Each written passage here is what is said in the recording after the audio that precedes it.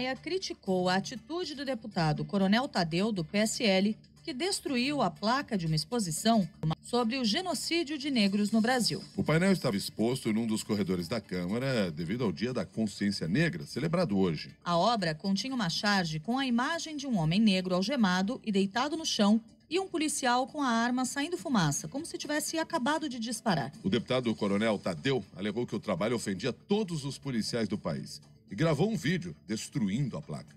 Policial de boina preta, arma na mão, sujeito negro. Isso quer o quê? Quer dizer o quê?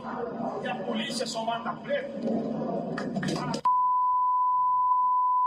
Isso aqui não vai ficar na parede. Isso aqui é contra a polícia. A polícia está para defender a sociedade. Um abraço para vocês. Eu vou queimar esse cartaz aqui que não deveria estar aqui. Segundo o anuário do Fórum de Segurança Pública, entre 2017 e 2018, os negros representaram mais de 75% das vítimas mortas por policiais no Brasil. Mas o deputado Daniel Silveira, do PSL do Rio, disse que a polícia mata mais negros porque eles cometem mais crimes que os brancos. O parlamentar é um dos que quebraram uma placa em a vereadora Marielle Franco, que foi assassinada no Rio. Quando você entra em favelas e se depara com um narcotraficante cortando fuzis, 99% são negros. Eu estou falando um fato, eu não estou sendo racista. Eu estou dando uma estatística clara. Basta quem duvida ir até lá e vai ver. São menos brancos. A maioria da população das favelas são negros. A polícia militar mata mais negros em confronto porque são mais negros portando fuzis. Se fossem mais brancos com os olhos azuis, mais brancos morreriam.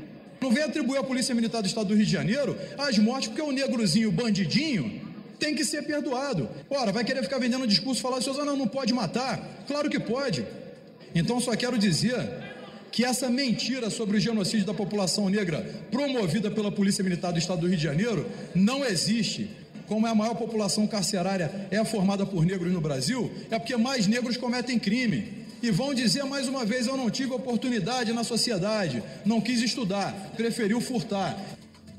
Quatro parlamentares registraram boletim de ocorrência contra o Coronel Tadeu. O presidente da Câmara, Rodrigo Maia, criticou a ação do deputado de vandalizar uma exposição contra o racismo. O que aconteceu em relação ao episódio que envolveu o deputado Tadeu, uma exposição, é muito grave.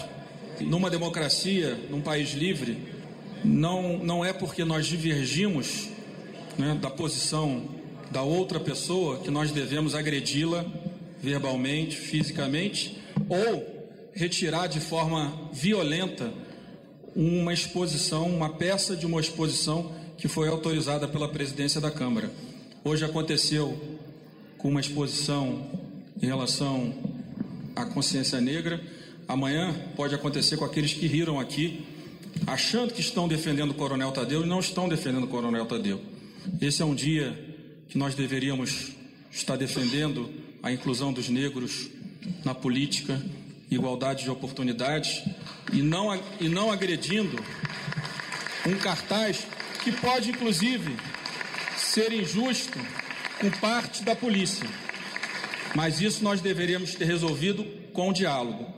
O cartunista Carlos Latuf, autor da charge quebrada pelo deputado coronel Tadeu, diz que a atitude do parlamentar é um ataque à democracia e revela que o Brasil é um país racista. Num vídeo postado no Twitter, o artista defendeu a recolocação do painel na exposição sobre o mês da consciência negra.